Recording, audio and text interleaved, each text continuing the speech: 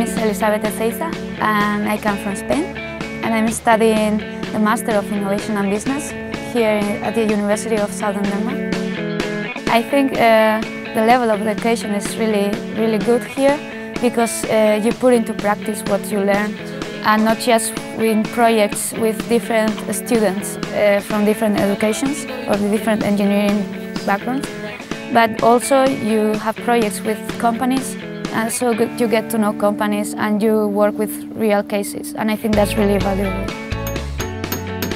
Right now we are working with two different projects. Uh, one is uh, about uh, building as an autonomous robotic sailing boat and we are working together with uh, mechatronics students. We are 11 people working in this project and it's not just a project for one semester but we will continue with that next semester so it's quite a huge project.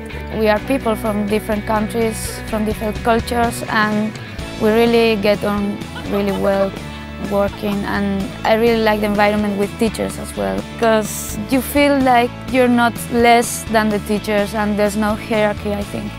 So they are friends apart from their work.